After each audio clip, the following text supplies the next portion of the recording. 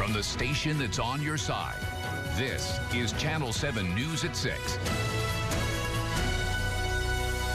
Well, good evening to you. We're going to begin tonight in Pope County, where authorities are taking seriously a social media threat against Russellville Junior High School. Channel 7's Ashley Lunningham spoke with law enforcement about what they're doing to keep students and school staff safe.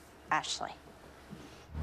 Yeah, Drew Reeves with the Russellville Police Department and the district administration have been working diligently since Friday to make sure all safety protocols are in place to keep students and staff safe.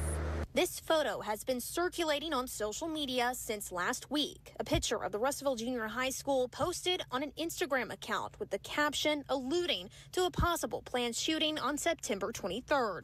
Deputy Superintendent Jeff Holt says they are aware of this threat. You know, we have uh, the, the, perimeters of all of our buildings uh, are locked. We have a single point entryway where any visitor must come in to, to the front door. And, and, uh, and then we have the standard protocols that we have uh, inside the building. Uh, we teach with our doors locked. Holt says they have been working directly with Russellville PD to add extra safety precautions and investigate into the threat. Um, we also have a um, uh, armed uh, Russellville police officer that's assigned to those buildings. They're SROs. We have one in each campus, um, but for this time period, we're going to have a extra uh, patrol in the in the area and maybe inside the schools. Drew Reeves with RPD says while they have no updates on who's behind these threats, they are covering all their bases. Our detectives uh, are now involved, our criminal investigations division, and they're looking into every single avenue we can uh, to get this solved. We had an increased presence at the school this morning.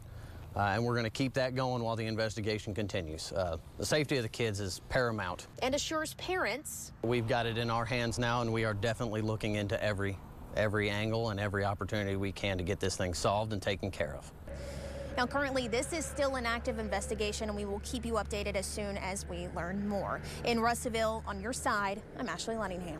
All right, Ashley, thanks so much. The Russellville School District advises anyone who sees anything suspicious to contact the district administration or Russellville Police.